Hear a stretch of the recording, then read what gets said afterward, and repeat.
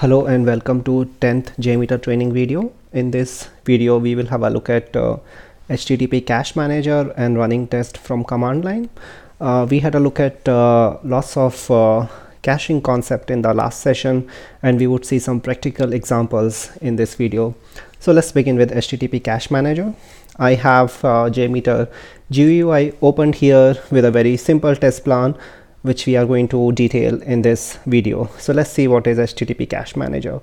HTTP Cache Manager is one of the entity which you can add in a test plan, which I have added here. It has a couple of options, which are clear cache on each iteration, use cache control expire headers with get request, and maximum number of elements in cache. So let's see these elements in details. So what is clear cache in each iteration? If I select this checkbox, it means that JMeter would clear cache on each iteration of test run, which means that for each request which is sent to the server, cache elements would not be used. For example, when there is a web page uh, is requested from the server and it has JavaScript or images or other HTTP uh, related components, then they would be served from the cache. They would not be served from the cache and they would be retrieved from the server. But if I do not select this option, that is cache is not cleared on each iteration, then these elements will not be served from the server and they would be retrieved from the internal cache, which means to say that you would not see 200 response code, you would see 304 response code, which means that there has been no modifications in the response. So this is about the uh, clear cache element on each iteration.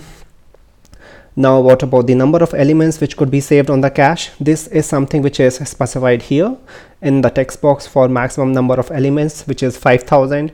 You can increase this value to some other uh, higher number but you should remember that it would be more CPU and memory consuming hence in this case you should also increase the memory available to JMeter which you can do using option hyphen x mx. Now if a sample is successful, which means to say that if JMeter receives 200 response code, then last modified and etag header for this response along with the URL are saved. And before we execute the next sample or before JMeter executes the next sample, it will check if there is an entity in the cache. And if so, then to check if last modified and if none match conditional headers are set or not. Now in this case, uh, consider that request is a get request and time step in the future.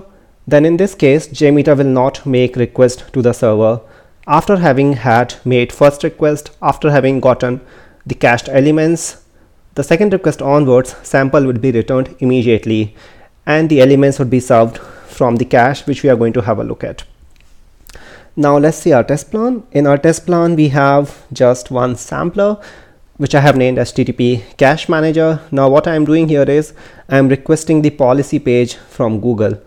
Uh, this element is specified in our test plan. So in the test plan, I have app URL as google.de.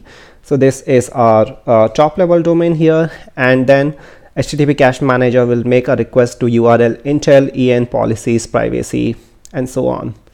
Following this, I have a response assertion here, which verifies presence of a text in this page which is information we get from your use of our services. Now, this request or this uh, response assertion would be successful on first iteration as well as on the further iterations if we are clearing the cache on each run, which we are going to have a look at now. And then in the test plan, I'm running the test with one user because we are just going to try to see the concept here. We are not really doing a load test here. There is no ramp up period, so ramp up period value is zero and it would be run for 30 seconds.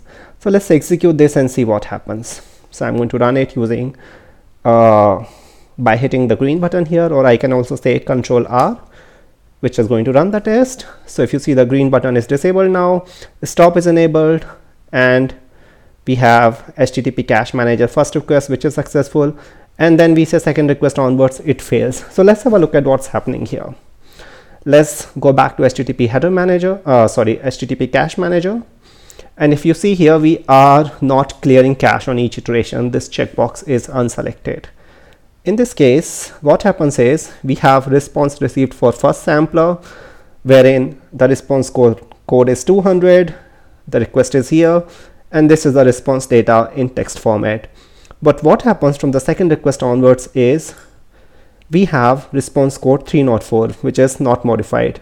Hence there is no response data retrieved there is no response body. This is the reason that the response assertion fails here because there is no response body so there is nothing against which uh, response assertion could be verified. And so on all of the response assertions fail. And this is happening because as I mentioned earlier we are caching the response and we are not clearing it on each iteration. Let's try opposite of it now. So let me clear the results. You can either go to run command and say clear or you can just say control E and it would clear the results. Now let's change the settings. We will select clear cache on each iteration and at this point of time we should see success in all of our runs. So let's run the test again by hitting control R. Yeah so test run has begun and now we have http cache manager sampler request subsequently being coming up. And all of them are successful because we do not have any element coming from the cache this time. So we have a look at response headers for the first request. We have 200 here.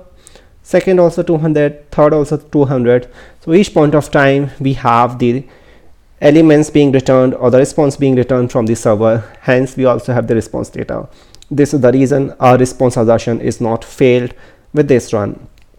Now let's see uh, why the responses are a little slow here. If you had a look at uh, the re request took a little time uh, from one request to another. This is happening because I had added a constant timer here which is for 2000 milliseconds which equals to 2 seconds. So this is all about how we can use HTTP cache manager.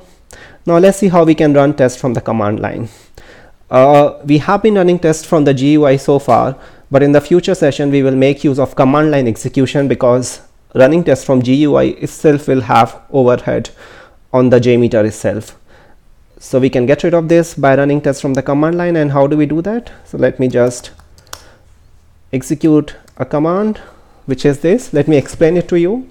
This command requires path to the JMeter shell script. If you're on Windows, then you have to go to your JMeter installation directory, bin, bin directory, and then you have to say jmeter.wedge. I'm on Windows here. So I'm, I'm running jmeter.sh and then I would be executing it in non-GUI mode. Hence, I have selected hyphen n, which means non-GUI mode.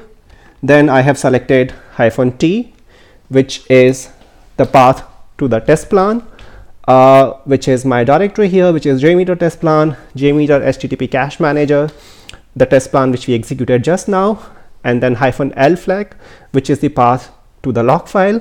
So here my log file is test result.log. Now let me hit the enter button and let me also uh, uncheck the option for clearing the cache. Okay, let's save this and let's run the test plan. Now after some time we will start receiving a summary of samples uh, which would indicate to us what is happening uh, on the test front because we do not have any GUI in action here.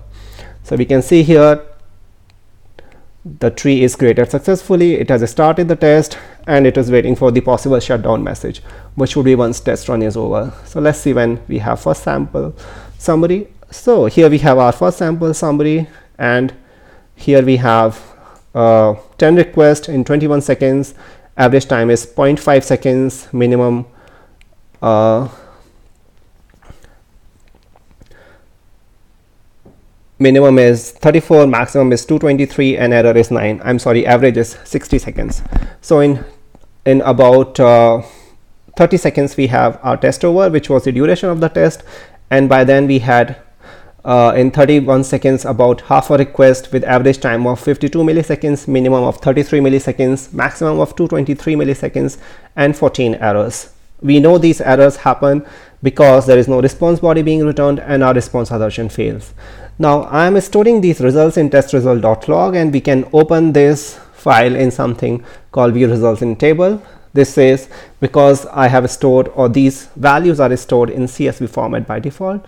Let's open this file which is testresult.log if I am right. Yeah, so this is the file. Let's open it. Yep. So if you see couple of the requests are successful, but subsequent requests keep failing and we know the reason for this. So this was all about HTTP Cache Manager and running tests from the command line. Uh, that's all for the, this session. So if you like this video, then please hit the like button and subscribe to my channel. I'll see you in next video for JMeter training. Keep learning. Bye bye.